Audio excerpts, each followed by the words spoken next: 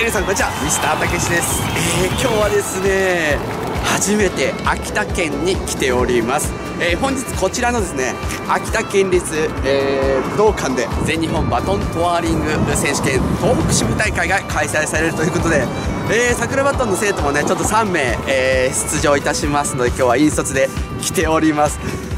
めっちゃ寒いです。あの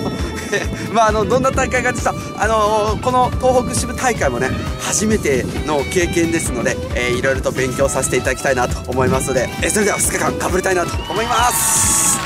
この辺でアップしてるとかちゃんとアップしてます。ちゃんとアップアップしてアップしてるはずがなんか。うわさん、えー、1日目が無事に終了いたしました。なんかこれ見るとねあのー、えー、日本バトン協会の東北支部が10周年ということでおめでとうございます。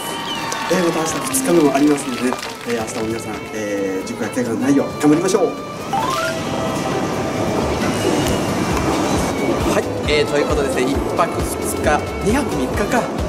泊まったのはね2泊したんですけども、えー、2日間の、えー全日本バトントワリング選手権、えー、東北支部大会の、ね、予選が無事に終わりました、えー、出場された選手皆さん本当にお疲れ様でした。そして全日本にね行かれる方頑張ってください。そして、えー、サクバトンクラブのね宮城からも1名、えー、全日本に選ばれましたので、えー、またあいいパフォーマンスができるようにね頑張って練習していきたいなと思っております、